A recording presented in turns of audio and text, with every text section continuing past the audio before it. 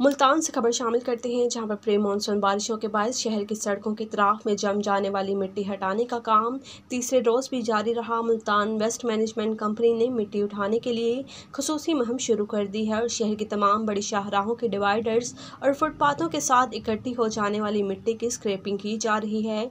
Manual तरीके के अलावा फ्रंट प्लेट ट्रैक्टर्स भी स्क्रेपिंग के लिए इस्तेमाल किए जा रहे हैं।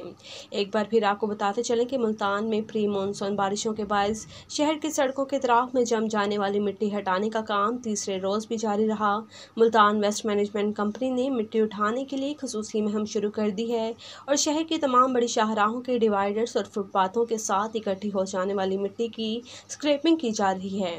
मैनुअल तरीके के अलावा फ्रंट ब्लेड ट्रैक्टर्स भी स्क्रेपिंग के लिए इस्तेमाल किए जा रहे हैं।